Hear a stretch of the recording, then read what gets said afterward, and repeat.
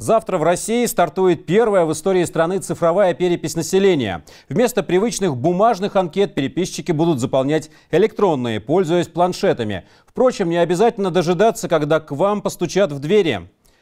На переписной участок можно прийти самостоятельно. В Кировске их откроется 19, в Апатитах 17.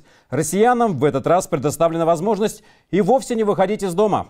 Чтобы принять участие в переписи, достаточно наличия компьютера или хотя бы смартфона, а также учетные записи на портале госуслуги. После внесения всех данных пользователь получит QR-код, который затем при встрече нужно будет показать переписчику как доказательство пройденной процедуры.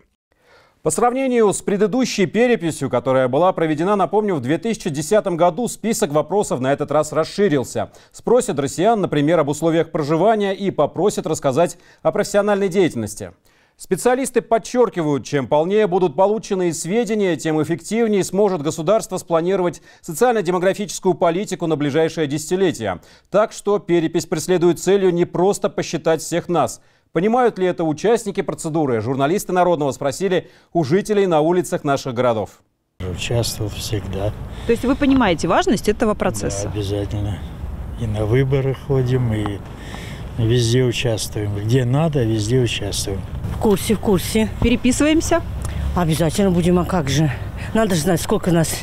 Естественно. Куда деваться-то? Где-то там, говорят, за границей вообще это даже уголовно наказуемо отказ от переписи. Так что придется. В курсе. По, э, ну, по телевизору. 15 октября. Что делаем? Ну, как-то надо отметиться в этот день. Ну, во-первых, надо посчитать, сколько нас здесь. А то люди спрашивают, какая численность города. Я, например, точно не знаю. Пускай посчитают, будем знать.